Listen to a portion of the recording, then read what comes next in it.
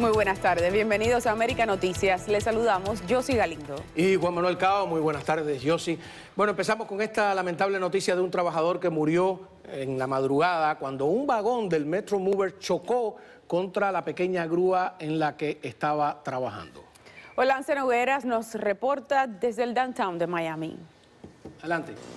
Inspectores de la Agencia Federal de Administración de Seguridad y Salud Ocupacional, OSHA por sus siglas en inglés, iniciaron una investigación junto a la Policía de Miami-Dade y el Departamento de Tránsito del Condado para determinar las causas de un accidente que dejó a un trabajador muerto y otro herido cuando un vagón del Metro Rail chocó contra una pequeña grúa que servía de andamio para los constructores involucrados. Es un ser humano que en estos momentos ya murió.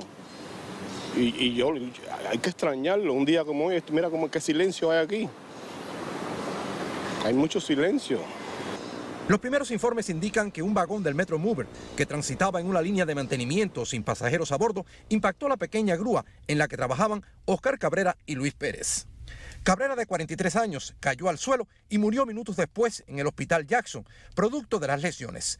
Pérez, que llevaba un arnés, acabó colgado de una repisa. Oh, claro que sí. Claro que sí, tenemos que ponernos todas esas cosas. Yeah. Eso es muy importante. Si tú no te pones ellos lo tenían puesto.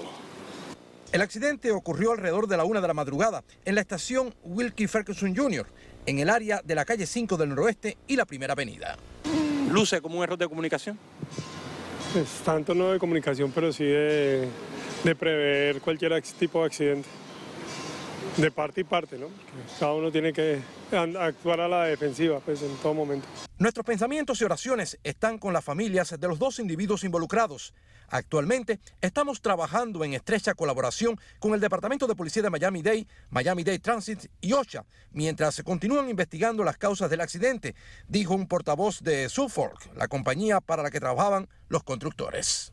Los trabajadores laboraban en la terminal del downtown de Miami del servicio de tren expreso que funcionará entre Orlando y Miami. Más seguridad tenemos que tener esto. Ya.